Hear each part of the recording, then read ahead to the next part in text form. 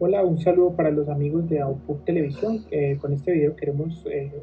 expandir un poco la información acerca del asteroide FT3, el cual ha tenido, digámoslo así, eh, un poco de escándalo o,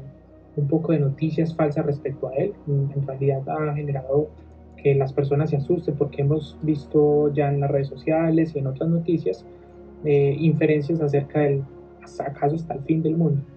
Entonces, eh, lo primero que debemos entender es que un cuerpo de estos, un asteroide, no es el único que existe y no es el único que se ha acercado a la Tierra como este. Cuando hablamos de acercarse en astronomía, estamos hablando de que este objeto puede estar pasando eh, a 400.000 kilómetros de distancia de la Tierra, es decir, más lejos que la Luna. Entonces, no tenemos que estar un eh, tan asustados como, como lo están en realidad las redes sociales con esta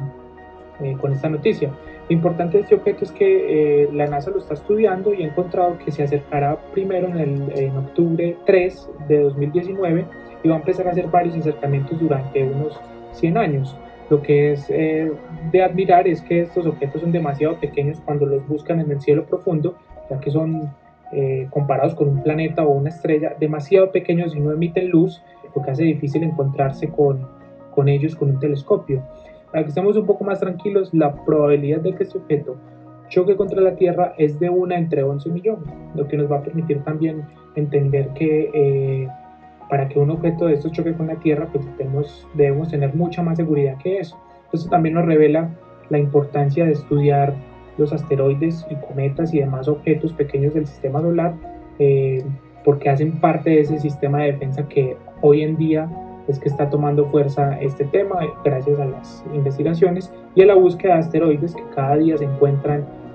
eh, muchos más asteroides. Eh, esto es todo, realmente debemos estar